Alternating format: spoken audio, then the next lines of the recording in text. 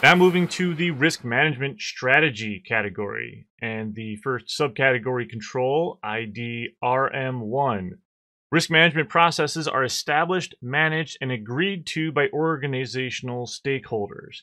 Now, the previous ca uh, category was uh, risk management assessment. So, obviously, doing an assessment is one thing that should inform how you're going to create and craft your strategy but you still need to develop, articulate, and document some type of strategy. So, is there a comprehensive strategy to manage the risk of the organizational operations, its assets, its individuals, other organizations that you're working with?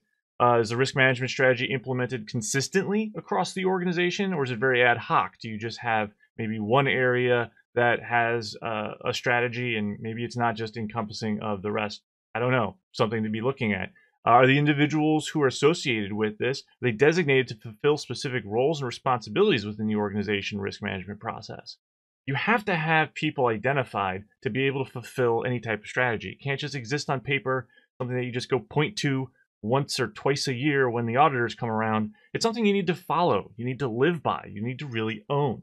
Um, and are the procedures developed and managed and distributed to the organizational members? Do people even know the strategy exists? It's one thing to have it. It's one thing to have people that you uh, have to support it, but you actually have to make people aware that it exists. What is it doing for them? What are other people's roles? Do they know where they need to be involved?